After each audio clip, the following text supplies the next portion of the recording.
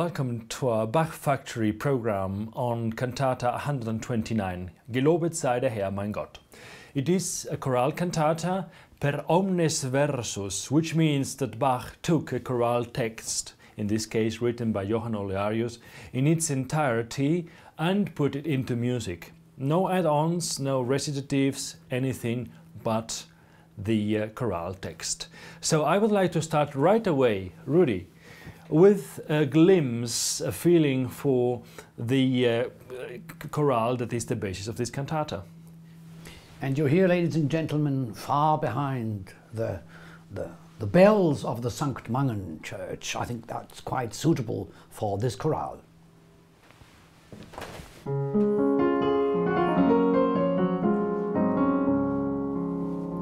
Gelobet sei der Herr, mein Gott, mein Licht, mein Leben, mein Schöpfer, der mir hat mein Leib und Seele gegeben, mein Vater, der mich schützt, von Mutterleibe an, der alle Augenblick viel Gut an mir getan.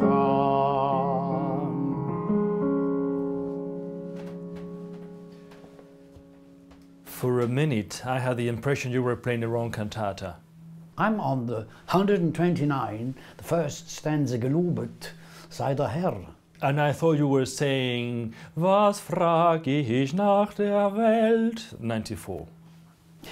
You're right, yeah. Well, ladies and gentlemen, that's a very interesting fact. You've got the hymn book for the whole community. And in the hymn book, you find the, the well known hymns you've been singing since generations.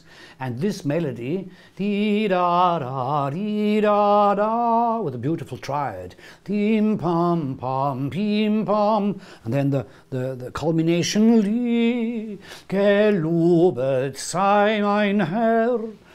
You also use that melody for other texts. That is a, that's a common rule in the, the Baroque time.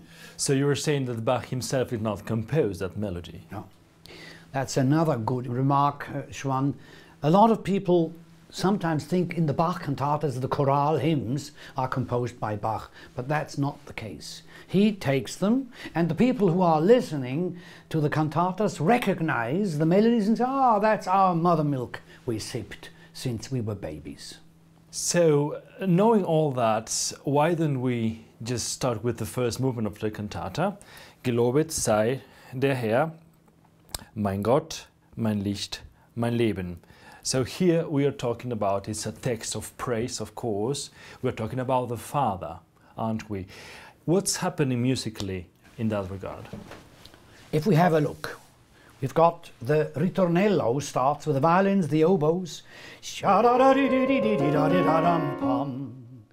Da da da, and then da da da da da da da, and da da da dum dum, and then the orchestra gives the answer da da da da da da da da dum ra da dum da da da da dum ra da dum da da da da da da.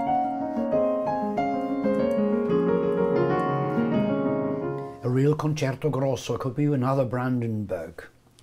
Yes, if you look at this, ya da da da, la da da da, na da da da, tam pum a uh, triad, and then there's the culmination note, ti, da da da di da di, da da da da da da. And if you look at the chorale melody, la di da di, the same triad, ti, and here's the culmination point, B a marvelous piece of music. And if we listen it to it now, you will also hear the cantus firmus, the melody comes in big, big, big steps. Tam, pam, pa, augmented in the soprano and a lot of praise in the other voices.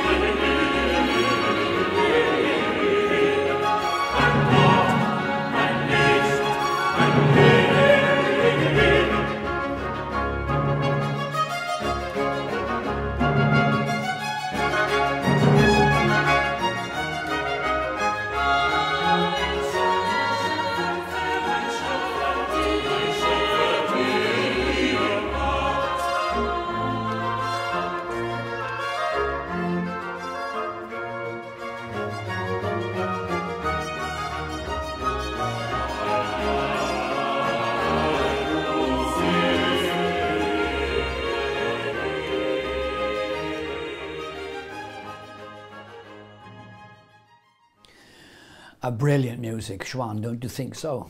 Brilliant music indeed. And if we now move on to the second movement, which is a bass aria, we find pretty much the same text. Gelobet sei der Herr, mein Gott, mein Heil, mein Leben. Des Vaters liebster Sohn, der sich für mich gegeben.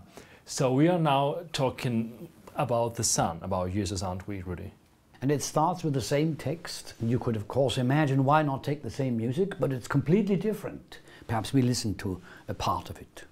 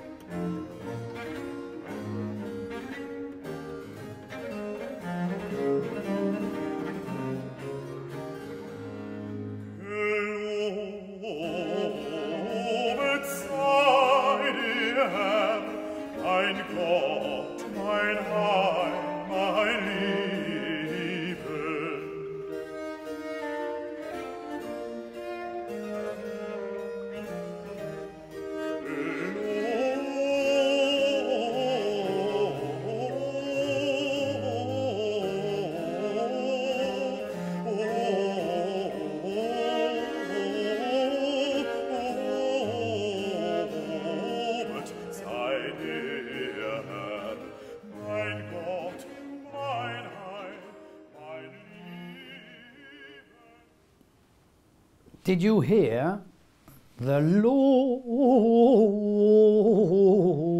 a melisma, a coloratura on the word loben, praising? And you heard at the beginning, I would like to show you that.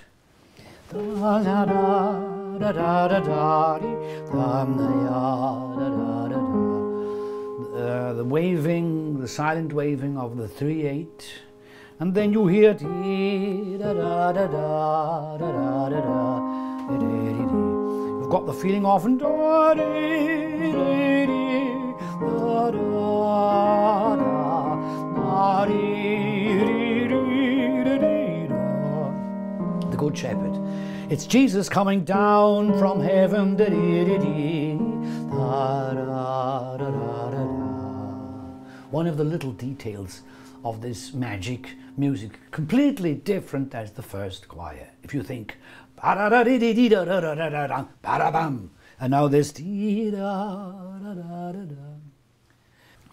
But, but Xoán, could you um, perhaps read on or tell us a few keywords of this second uh, stanza?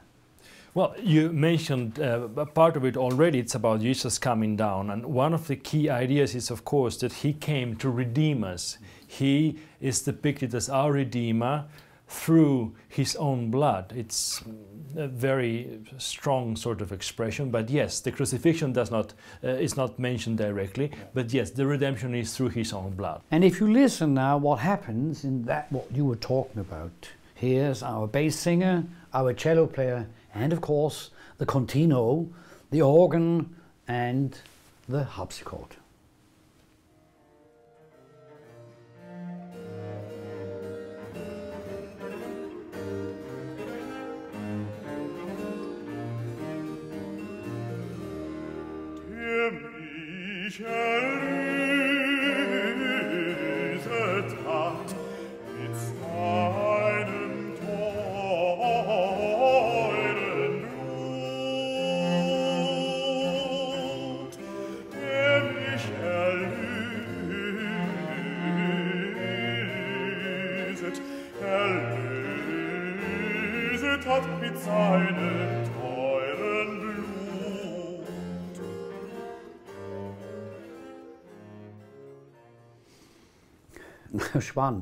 We had God Father, God the Son, and now what's coming?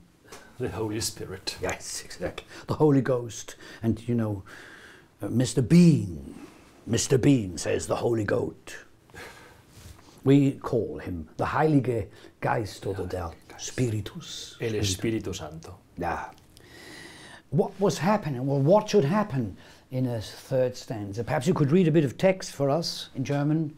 Do you think it's the same text? Well, it- well, I might start with the same idea. That's, by the way, a great rhetorical idea to say, I start every part of my speech with the first same sentence. That gives a clear order. I'm talking about the same, and then afterwards I do the differentiation.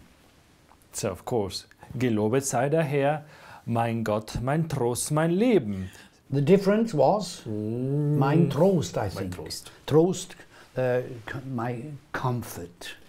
Mein Comfort. The first time was mein Licht, mein Light, mein Enlightenment. The second time was mein Heil, my salvation. And now is mein Trost, my comfort.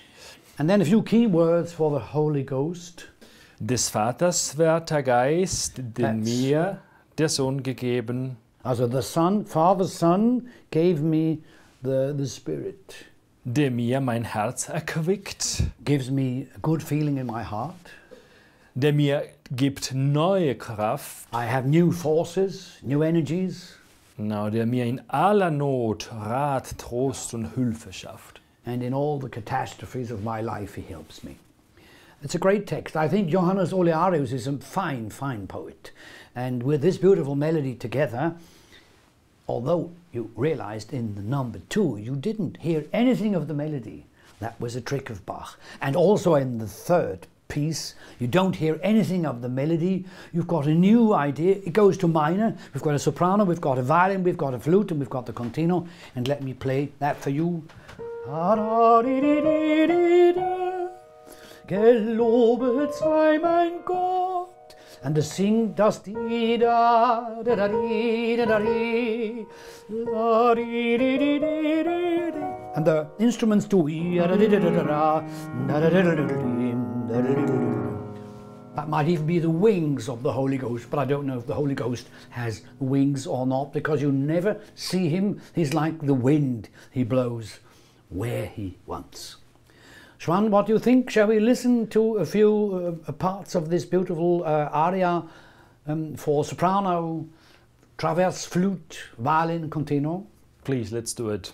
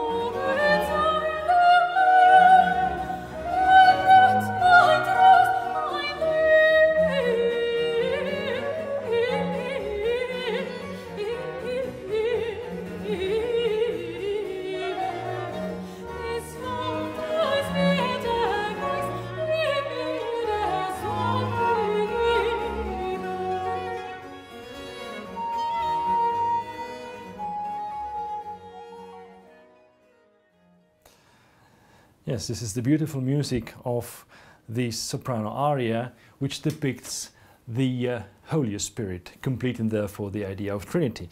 But there is a very uh, particular part of this aria which we didn't hear here, but where the text uh, mentions the distress, the note, and something musically uh, special is happening there, Rudy. Exactly, it's the Neapolitan uh, and the diminished chord. I'll love to show you that part. I'm always impressed how Bach is capable of just bringing in through a few chords um, another atmosphere. And here you've got Der mir gibt neue Kraft, who gives me new energy. Der mir gibt neue Kraft. And then here, chromatics, dir mir in aller Not Rat, Trost und Hilfe schafft. I'll just play the chords.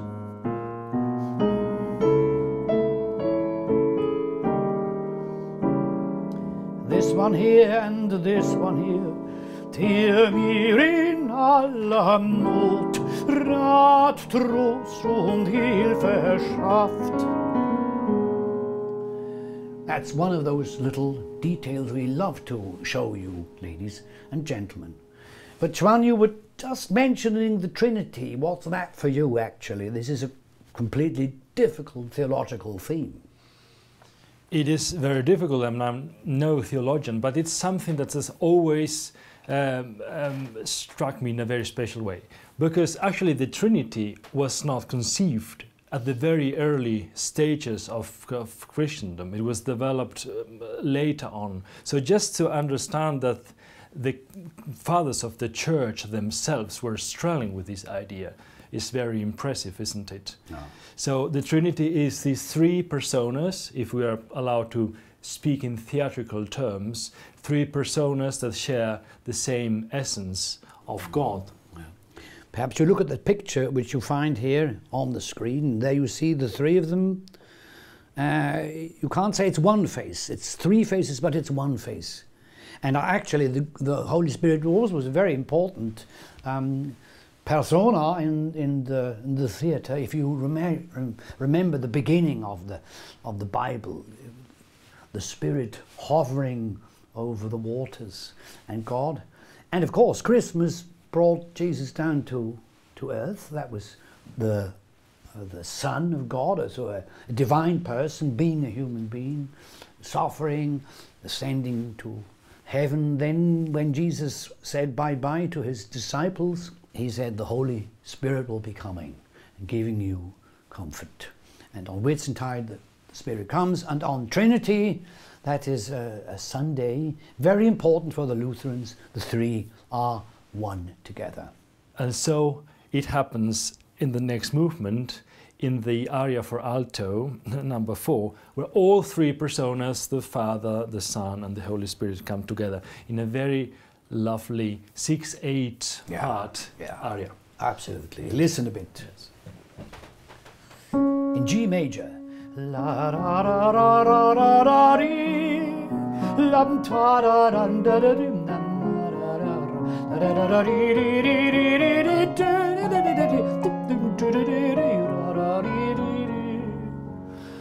You've got the feeling uh, you're in paradise. The singer, Herr, mein Gott, mein ewig liebet. Here again the triad. Dum ta, dum ta, dum ta, dum da da dee dee dee, and the opening note dee dee. If you think of the chorale, dim ta da dee dee dee. You don't find the chorale, but it's somehow included in the music of Bach. And by the way, Rudy, the text, that of course is very much the same, but it's not the same. Gelobet sei der Herr.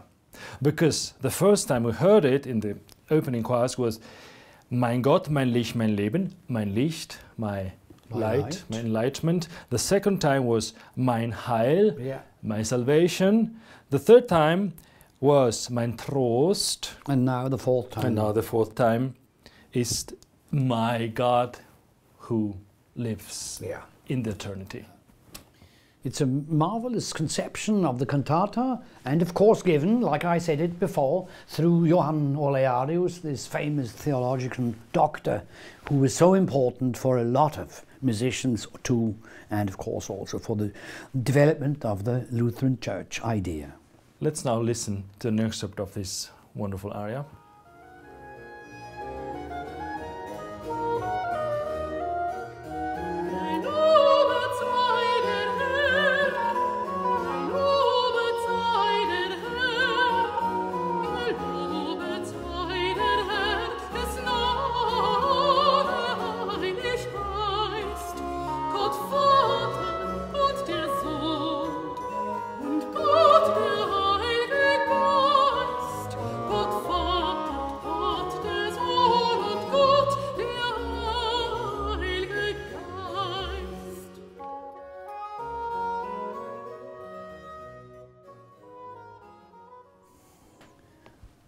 Like Xoán mentioned before, here you heard it Gott, Sohn und Heiliger Geist. God, Son, and Holy Spirit. So, concluding, now we could think the, the cantata is finished, but we see there's a bunch of musicians waiting to sing their Schlusschoral. And when I listen to this chorale, I sometimes think I'm listening to the Christmas oratorio. Yeah, you are absolutely right. The trumpets play interludes, play preludes, and the community, I could say, the choir sings the last stanzas. Perhaps you could read a few words. Mm-hmm. 'cause I love that very much, especially the mentioning of the angels. Dem wir das Heilig itzt mit Freuden lassen Ja. klingen. The Heilig Jetzt, what's that? Das Heilige, the, the Holy, The Holy, Holy, Holy. So that's the Sanctus. ist der Sanctus. Und mit der Engelschar Here they are. das Heilig, Heilig singen. Den herzlich lobt und preist die ganze Christenheit. Yeah. So not only the community singing it, but we know that up there, that's anyway our imagination, that the angels will be singing in the beautiful Fortissimo. Listen to the end of the cantata.